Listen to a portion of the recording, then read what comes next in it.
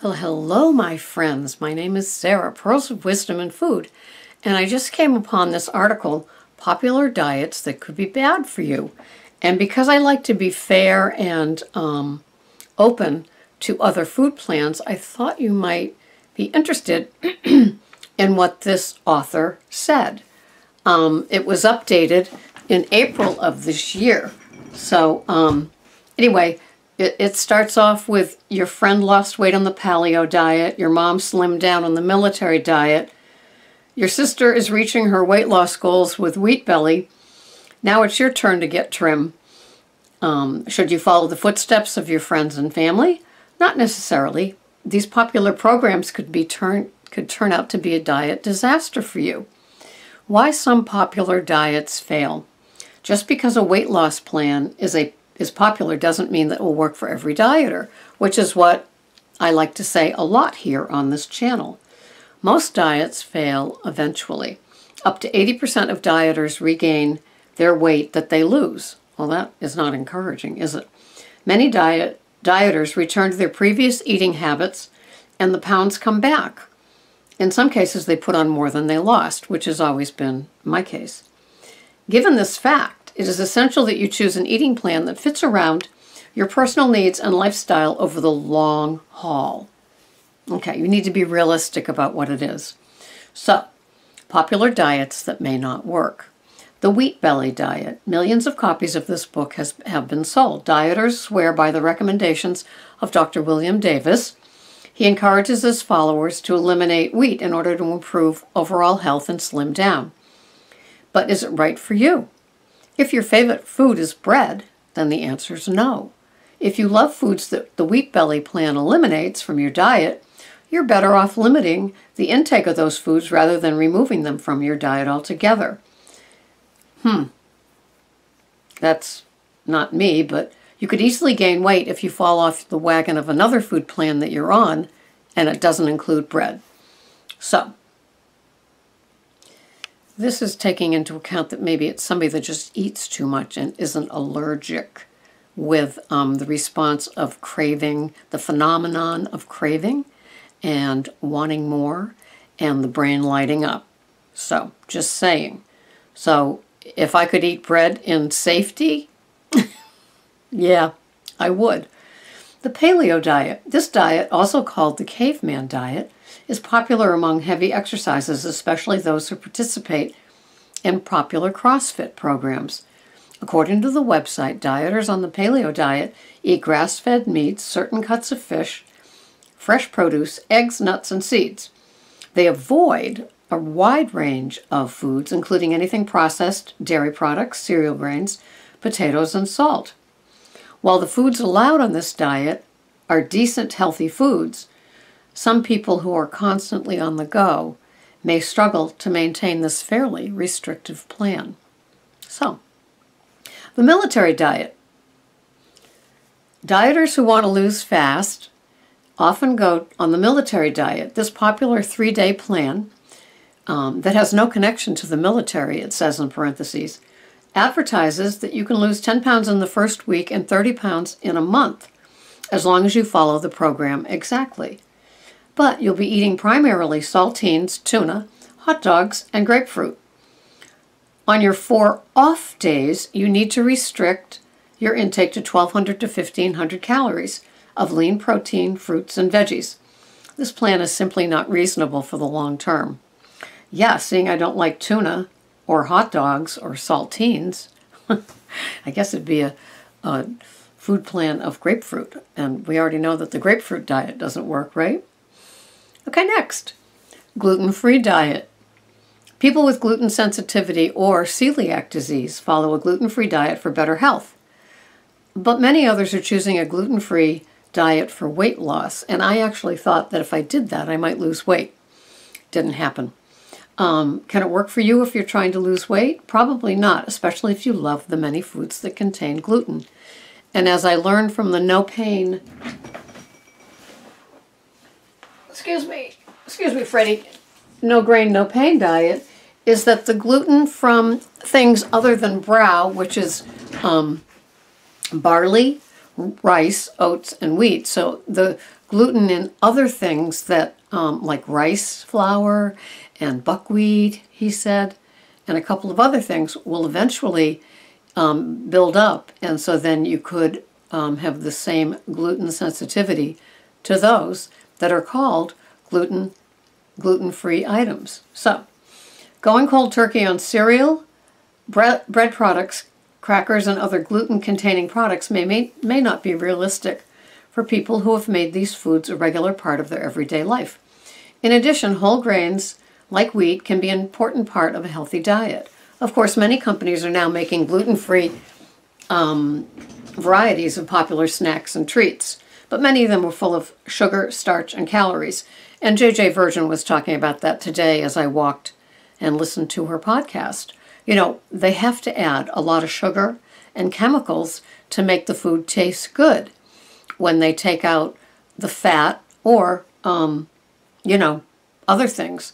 And whole grains, there are no essential grains needed for your body. So um, even though some people swear by those things, it could spike your blood sugar. And she is not a believer in the glycemic index, just the blood sugars. So I guess there's a difference there.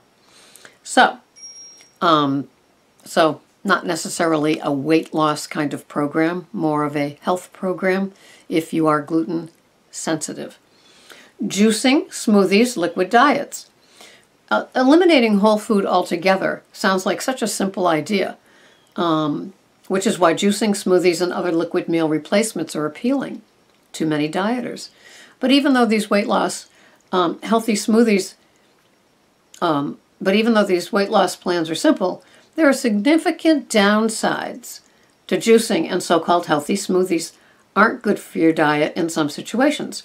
If you're a person who really enjoys food, cooking it, tasting it, and eating it, then liquid diets may not be the best solution for you.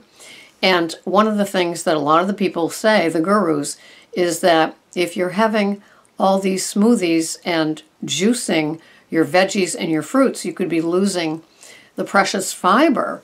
And the fiber offsets the sugar content in fruits and veggies. And so it's like nature's balance.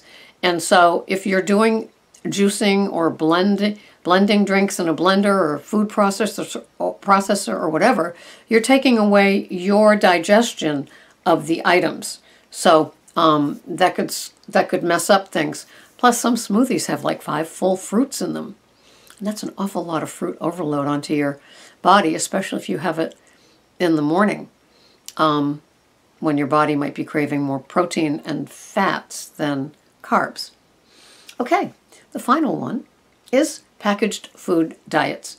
Popular programs that offer packaged foods like Jenny Craig and Nutrisystem are popular among pe people who need a convenient eating program, but some of the meals in these programs are high in sodium, no surprise, making them poor choices for dieters with high blood pressure. Portion sizes also tend to be very small, and I'm sure they use tons and tons and tons of chemicals in both of those programs' food offerings.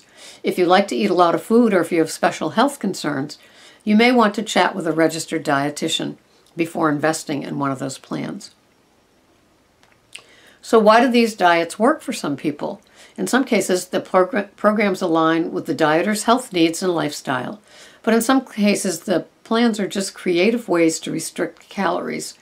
Weight loss can only occur if you change your energy balance. For example, a new gluten-free dieter might lose five pounds because she ate less food overall, not necessarily because she ate less gluten. In addition, when someone chooses to go on a diet, the simple act of focusing on their daily food intake often causes them to eat less. And the success of the program, therefore, has little to do with the specific program and more to do with the choice of making healthy eating a priority. And that's what a lot of people say. Like if you've been on a standard American diet and eating the huge portions and having many, many snacks all day, every day. And then you go on to a, a carb restricted or a um, sugar restricted or a, a food restricted plan, like say Weight Watchers, you know, you you're just cleaning up your act. And so with only a certain amount of points each day, you can't be eating the types um, or the full portions of what you might have been having before. And so you lose weight just by the very fact that you're having less volume of the no-nos, but you're still having the no-nos, right? Because you can have the no-nos there, and that's the freedom of Weight Watchers that so many people prefer over um, a restricted diet like a gluten-free or a wheat-free or a um, low-carb, high-fat, or a keto or a paleo, you know, where there's definitely different things that are not allowed. And in Weight Watchers, you can just have um, restricted type of foods. You can have the food you want, but you're having, like, say, a contained package of it instead of having a bag of it, right? And you mark the you you tr- definitely track your points. So, those are some diets that are known not to work for everybody. And that's why I just thought I'd bring up a provocative title topic for all of you because you just never know. You know, and and for me, if you had told me when I entered Weight Watchers in June 2014 that I would be low carb, high fat, keto two and a half years later, I'd say, You're crazy. First of all, what's keto? You know, I didn't even know. I don't know how I fell into it. Yes, I do. Yes, I do. I read the Wheat Belly diet, and of course, what they don't say in it is that that's what you're going to end up doing because there's no sugars or grain or wheat at that point. And then the total health is no sugar and no grains totally. So what else is left is um, low carb, high fat, um, small amounts of animal protein.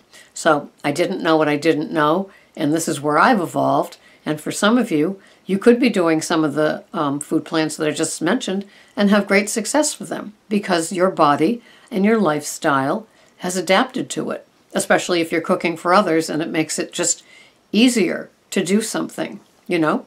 So that's it. Just a little potpourri of plans for you to get provoked about. Have a wonderful day. This has been Sarah P. Pearl. Oh, pearls of wisdom and food. Lots of peace there. I'm telling you. Have a wonderful day. Bye bye for now.